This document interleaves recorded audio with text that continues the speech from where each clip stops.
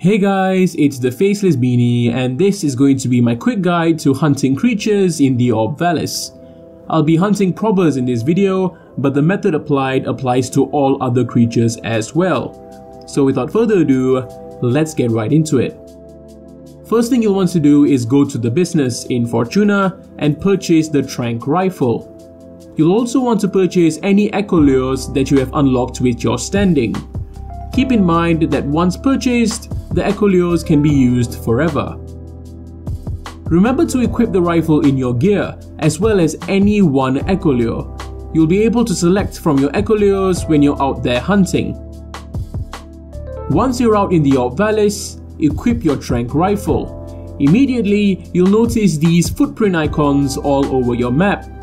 You'll want to open up your map and choose a spot and right click on it to set a waypoint as you won't be able to see the spot otherwise when you switch to your K drive or Archwing.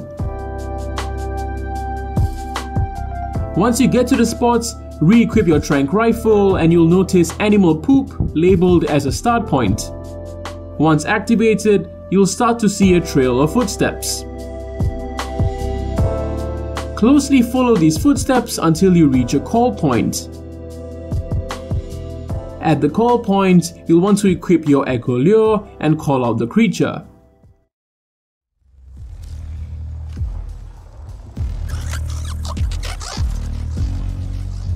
The creature will then respond. That is the call of a pobber. And wait for you to mimic its response. Once you do that, quickly find a spot to hide yourself from the creature and make sure you stay in the opposite direction of the direction the wind is blowing. But make sure you have a clear view of the call point and the surrounding area. After a few seconds, you'll see the creature, or creatures in this case, go towards the call point. Once you have a good shot, shoot and wait for the creature to fall asleep. Then approach it and call for recovery, and you have a successful capture. The amount of standing you'll gain depends on whether you get a bad, good or perfect capture, depending on how quickly you tranquilize the creature and whether it's startled or not. A few things to keep in mind. When looking for footprints on the map, make sure you select the Echo of the creature you seek, as the footprints shown will correspond to the Echo selected. When you reach a call point and it's time to mimic the creature's call, the bar is controlled by your mouse movement. Try to ensure you keep within the bracket when replying to the creature to ensure it approaches the call point.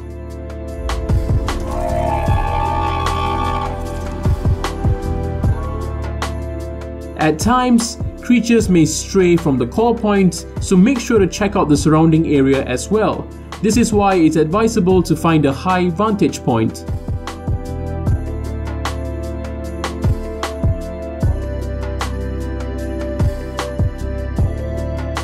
Also remember that certain Warframe's passive abilities could end up killing the tender creatures, such as Volt, so don't use them.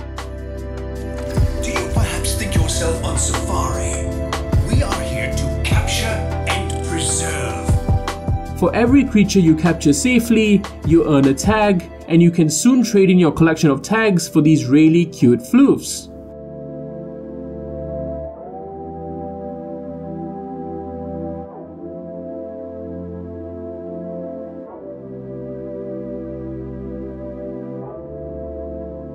And that's about all you need to know to get started with animal conservation in Fortuna.